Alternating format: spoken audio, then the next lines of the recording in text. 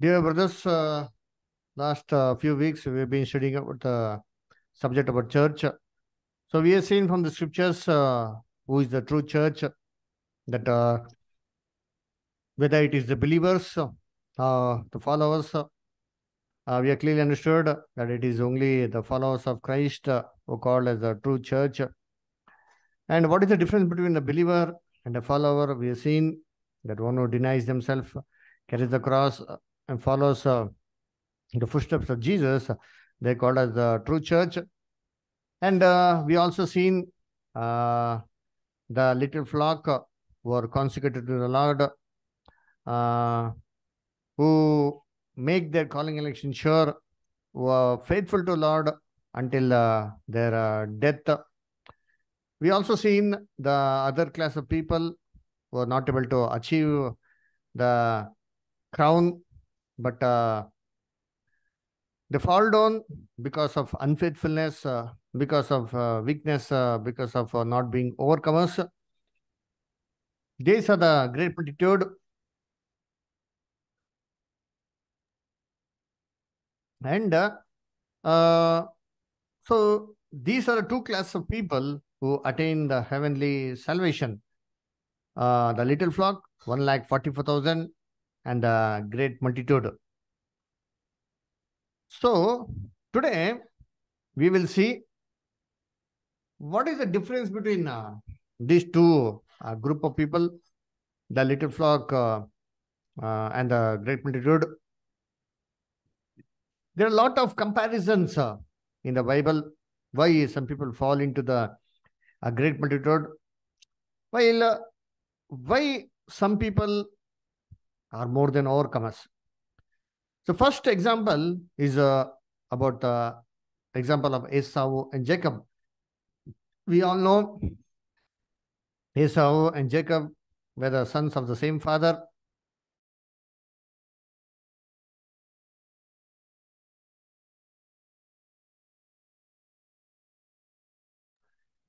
Then, but uh, here we see that uh, Esau was the elder son. But Esau sold his birthright because for a small uh, meal, and uh, Jacob uh, received that, uh, you see, birthright, uh, that uh, blessings of the firstborn. So we read in the Bible in Genesis 25th chapter, verse uh, 30 32, uh, like this. Can Peter, Peter brother, can you read? Are you able to read Genesis 25th chapter, verse 32, 32?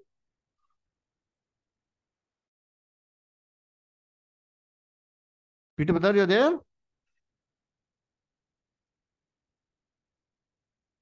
Okay.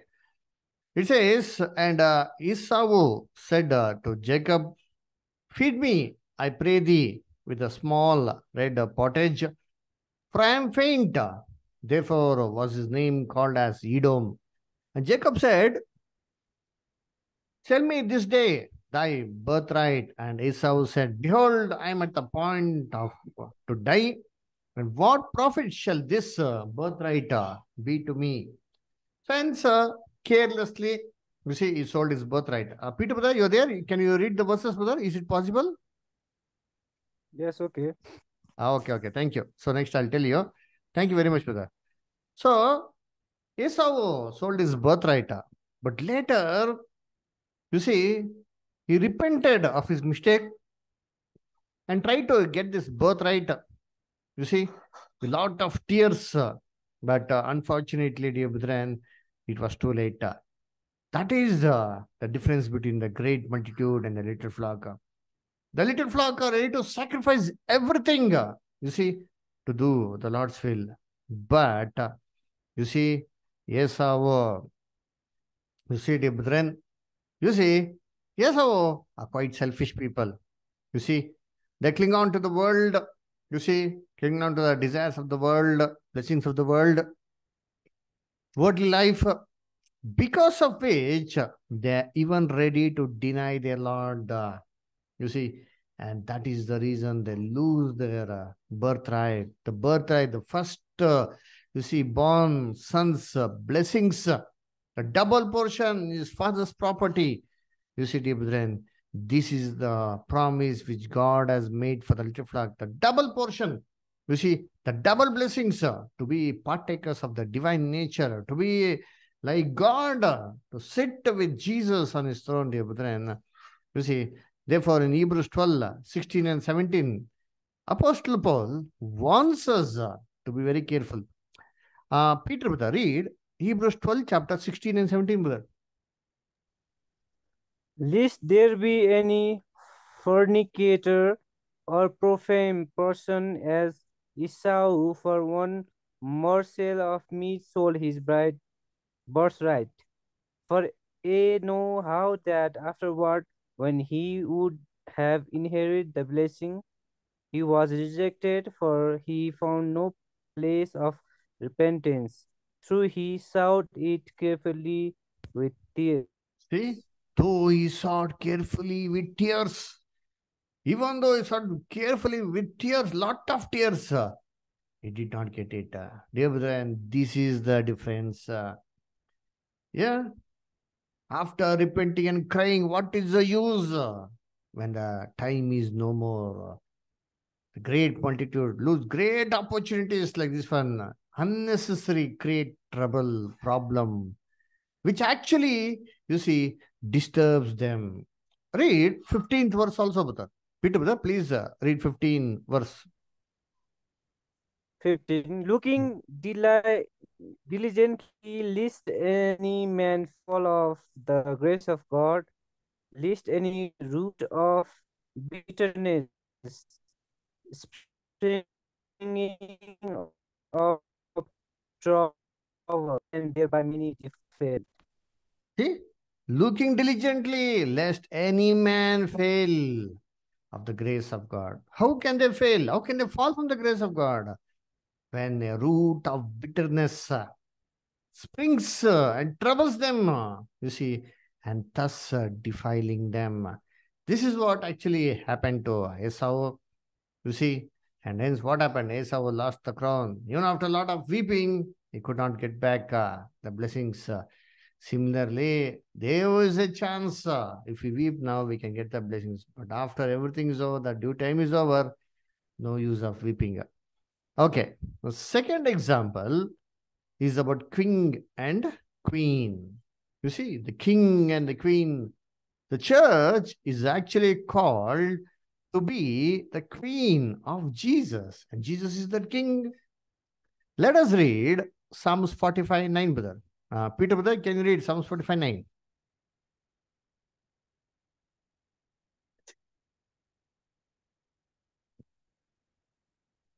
Uh, Peter, brother, Psalms 45 9. You can read from the screen if it's possible. Oh, sorry, king's daughters were among the honorable women.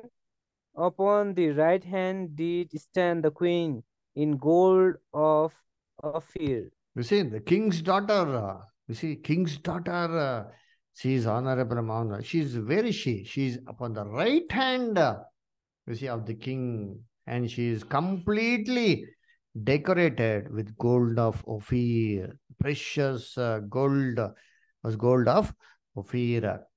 So, in uh, verse 9, it tells, uh, King's daughter were among the honorable women, and upon thy right hand uh, did she stand in gold of Ophir.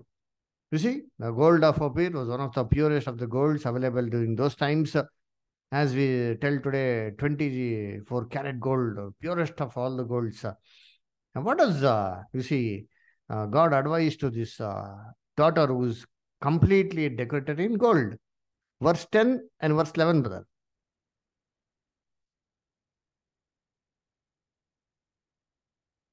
Peter, brother, verse 10 and verse 11.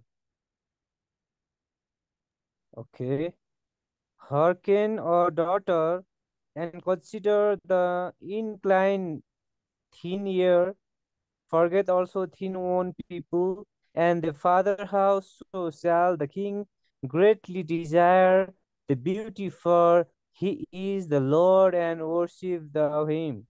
You see, what does the advice God give?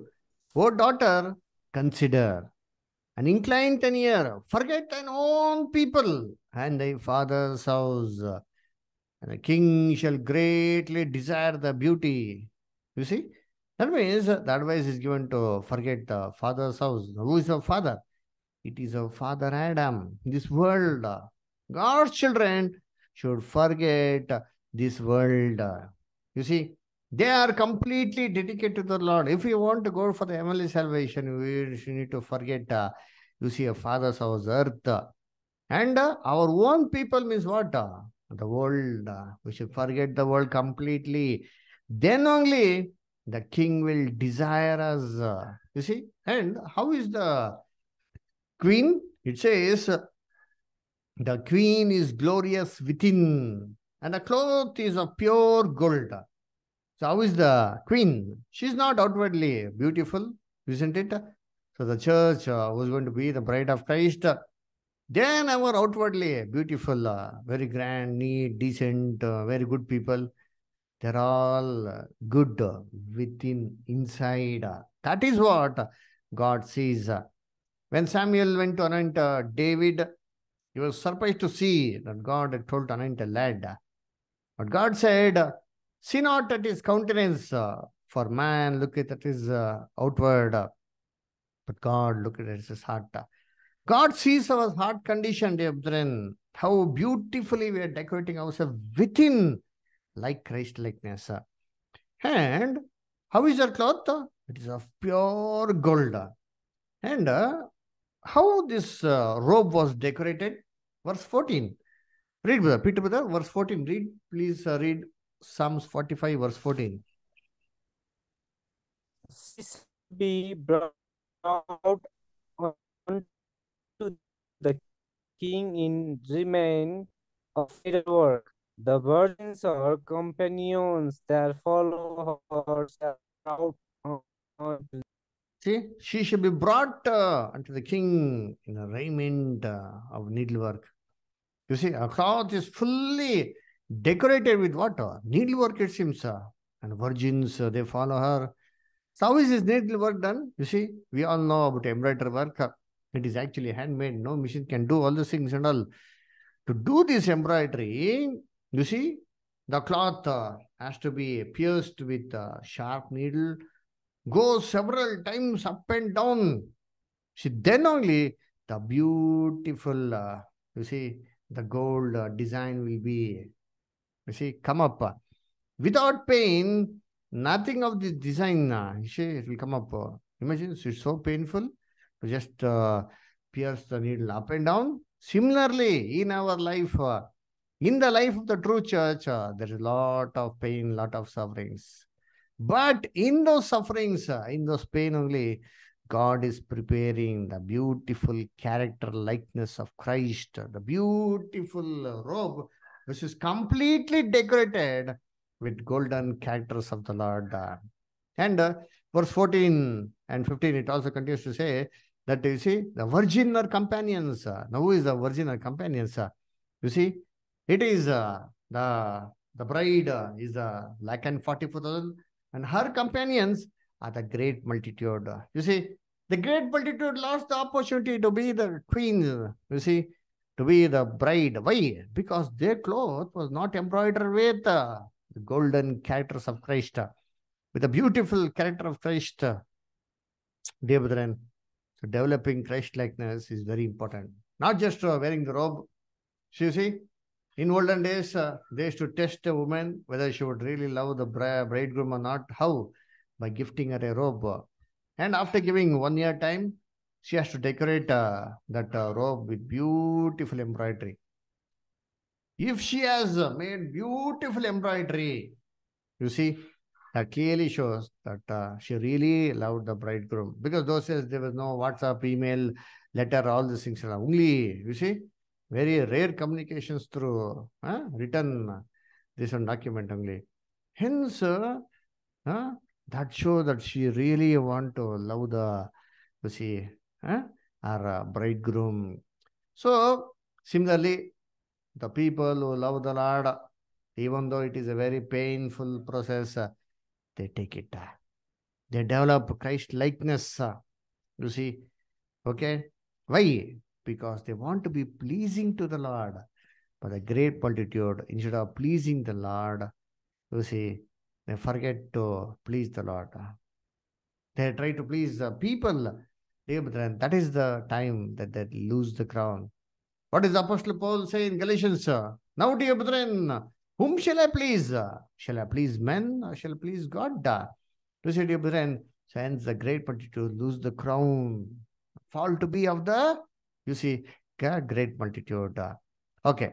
Now, third comparison is about the foolish and the wise virgins. It is given to us in Matthew 25 chapter verses 1 to 4. Peter, brother, can you read Matthew 25 chapter 1 to 4? Then shall the kingdom of heaven be likened unto ten virgins, which took their lamps and went forth to meet the bridegroom. And five of them were wise, and five were foolish. They that were foolish took their lamps and took no oil with them, but the wise took oil in their vessel with their. Thank you, brother. So here it says, uh, you see, uh, that uh, uh, the kingdom of heaven is like uh, unto ten virgins uh, which took their lamps, uh, you see, to meet the bridegroom. And five of them were wise, five of them were foolish. What is the difference between the wise and foolish? If you see, the wise took the oil in the lamp as well as in the, you see, uh, in the vessel. But the foolish did not take oil in the vessel. They took oil only in the lamp. Dear brethren, so hence what happened? Uh, you see, the, uh, the bridegroom actually tarried. Verse uh, 5, brother. Verse 5 and 6, brother. Huh? 5. While the bridegroom tarries, they all the slumbered and slept. And at midnight there was a cry made, Behold, the bridegroom come, go you out to meet him. Uh-huh. You see, what happened? The bridegroom tarried. Jesus uh, tarried, it seems. So what happened? Everybody slept. In the midnight, there was a cry calling, Behold the bridegroom. So immediately everybody woke up, they trimmed the lamps. But what happened? You see, the foolish did not have sufficient of oil. The lamps were going out. Isn't it? Then the wise, they had the oil in the vessel, they put it to the lamp, it began to shine brightly. You see? But the foolish did not have oil. What did they ask? They went and asked to the, you see, the wise virgins, please give us a little bit of your oil. What was the reply given? Verse uh, 8 and verse 9, brother. Uh.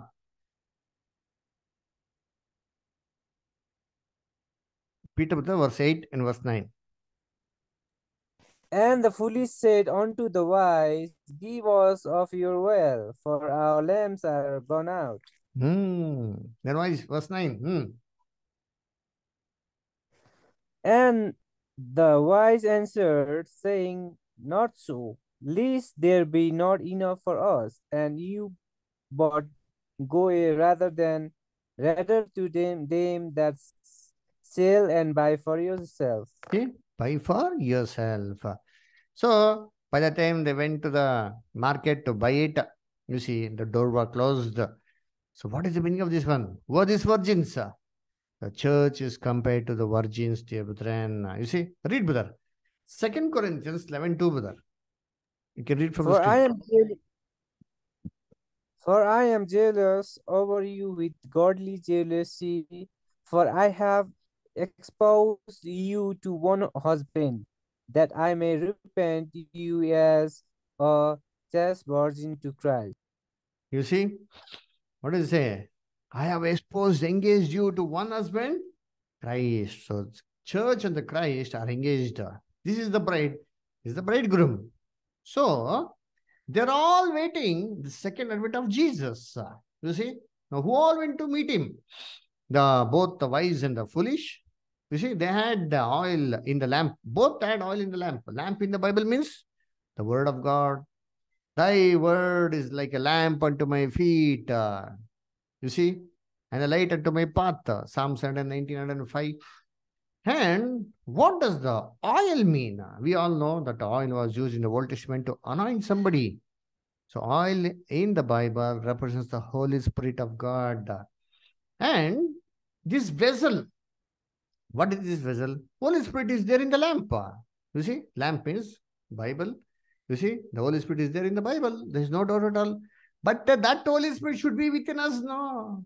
You see, it should be in our life, uh, the character likeness of uh, Christ, uh, the fruits of the Holy Spirit, where it should be, it should be in the vessel. This is what the foolish virgin lack. uh.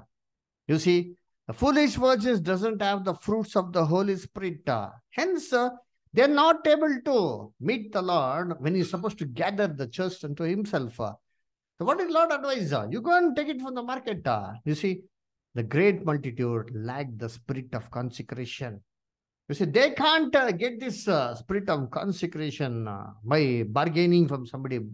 Brother, please give us your Holy Spirit. Give us your spirit of consecration. They can't give it. No, we can't share our uh, zeal, energy, love for the Lord to somebody else. It has to be gained by themselves from the world.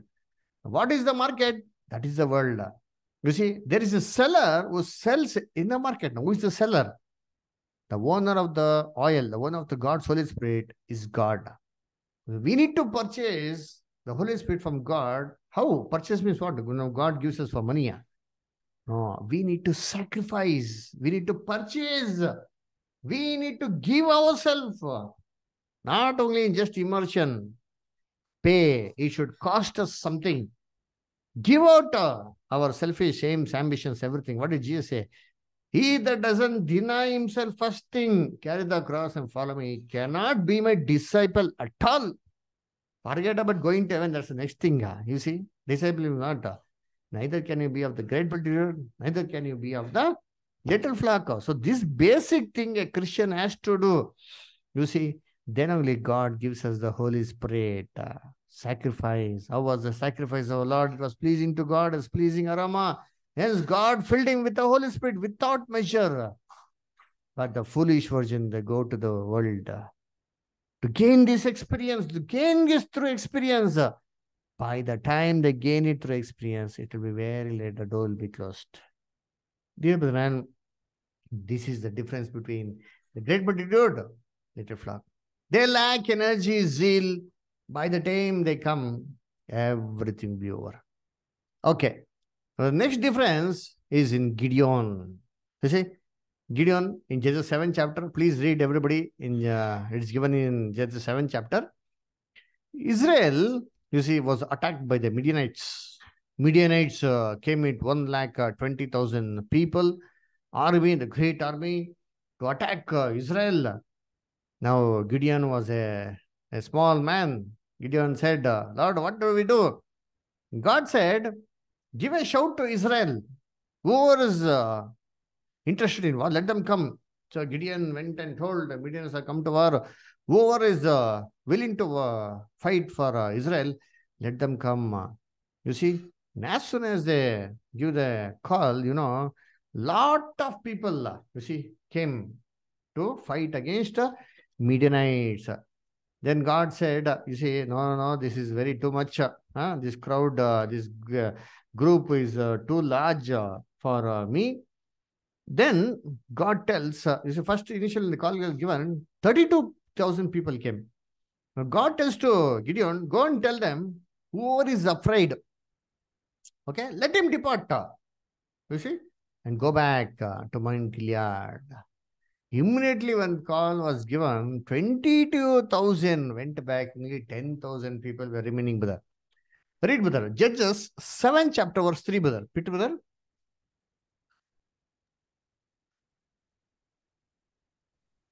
Now therefore go to the people, saying, Who uh whosoever fearful and afraid, let, him return, depart only from mountain, Mount Gilead, and there of the people twenty two thousands, and there remained ten.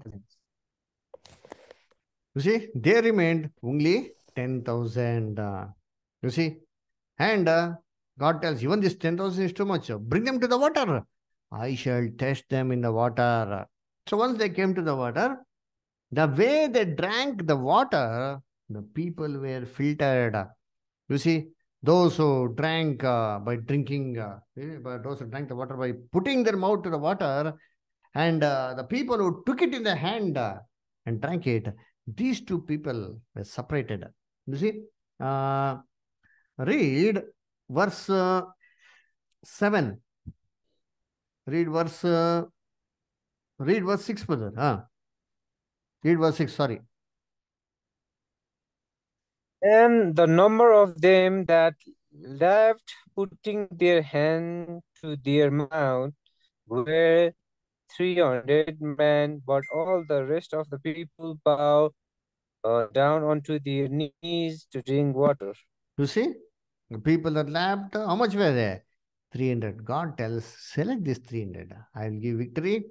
Now send back uh, 9,700 back to the home. Uh, you see, the brethren. So 9,700 people went back. Uh, then for this uh, 300 people, God told, take a, you see, uh, you see, a, a pot, you see, a mud pot, and take a lamp in their hand and take a trumpet. So blow the trumpet loudly, break the, you see, the pitcher, you see, the mud pot, and let the light shine brightly.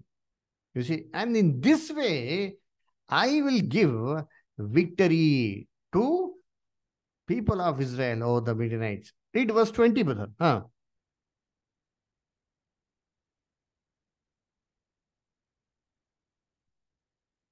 Peter, brother, verse 20. And the three Okay, I think uh, there is network issue. I will read. Uh, The- you, you can come little bit for the network area. twenty and face below the break teachers. Sorry. Uh, I think there is a network disturbance in your area. Come little bit where you have network, brother. Now you can read.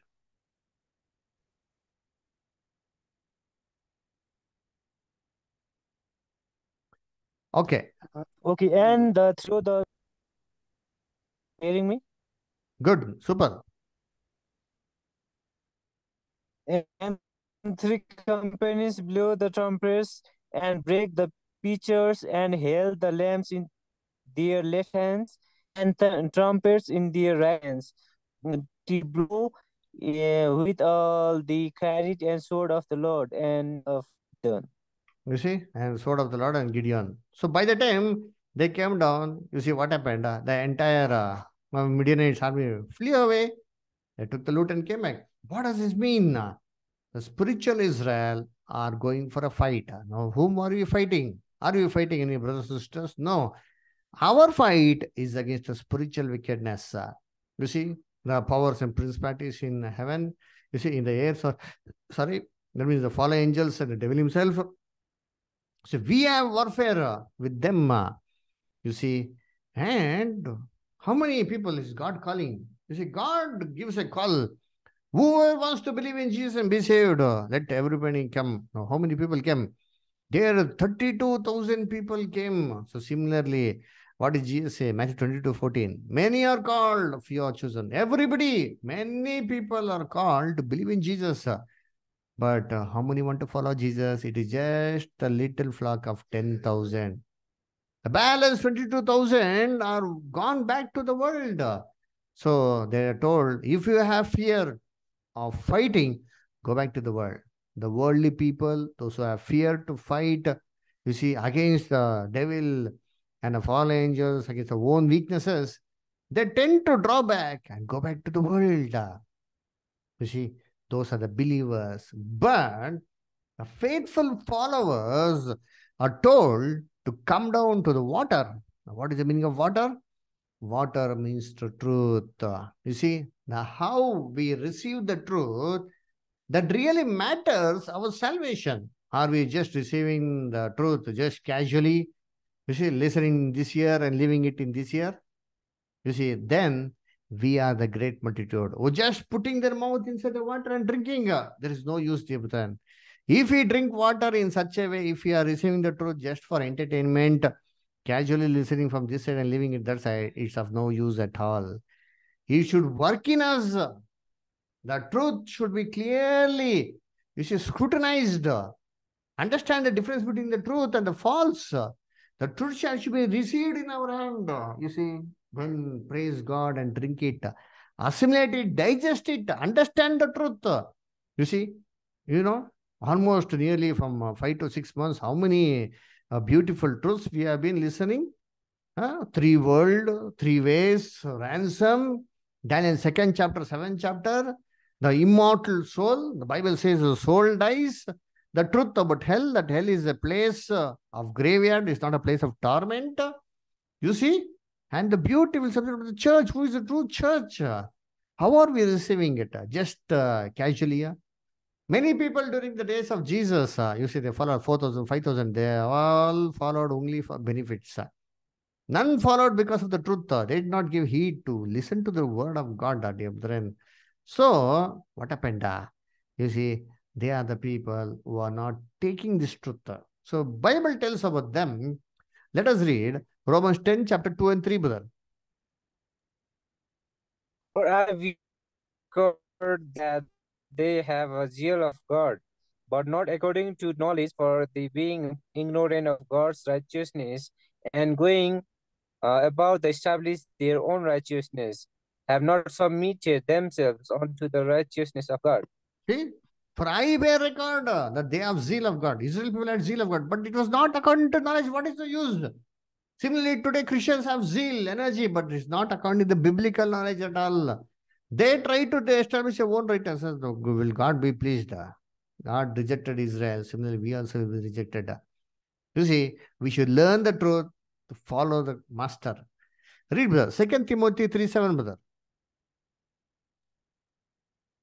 Ever learning and never able to come to the knowledge of the truth. See, ever learning, always listening, always attending classes, always listening to class. Good. It's really appreciate that. But what does the Bible say? This says some people who are ever learning, but never able to come to the knowledge of truth, never able to understand, discern what is the truth. Understand the Bible says the soul they're not able to understand it at all. They're not able to understand that Jesus died for the whole world in Christ's second advent. When he's going to come on this earth and rule for thousand years, all the dead will come back to life on this earth. Some people still believe that there is a matter of hell and soul. You see, hell and heaven, sorry. All the unbelievers will go to heaven.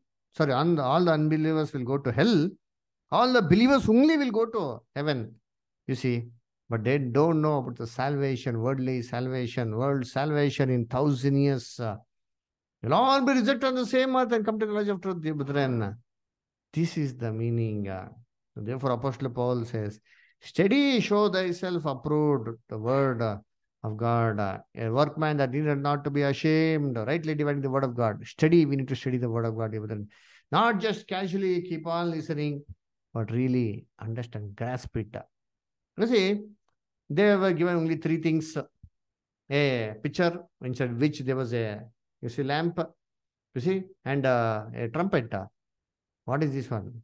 The lamp is the burning spirit of God, which is hidden in this picture, in this mud part of the earthen vessel.